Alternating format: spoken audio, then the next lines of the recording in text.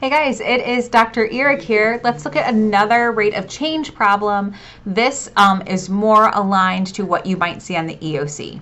So it says that this table um, defines a quadratic function. What is the average rate of change between x equals negative 1 and x equals positive 1?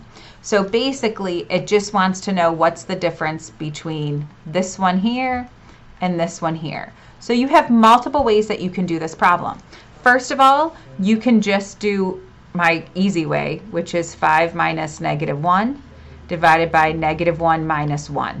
I just do top minus bottom, top minus bottom.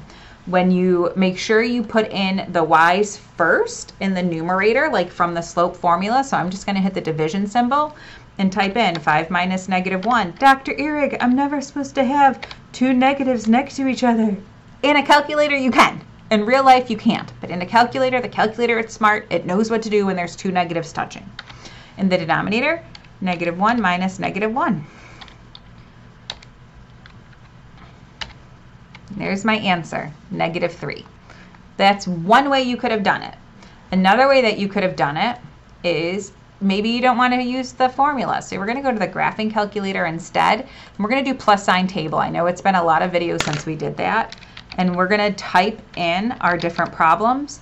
And really, I'm still going to type everything in, but you really only need to type in the first and the third one, like really.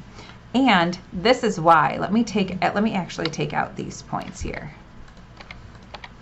Now we can look at it here and it's the same way. I can count and be like, okay, well, I go down one, two, three, four, five, six. So I went down six, and then from there I went over one, two, over two. So down is negative six, over is positive two, and then hopefully in your head you know that, but if you don't, you can do negative six divided by two and get negative three that way. So either way, you can use the graphing calculator to help you.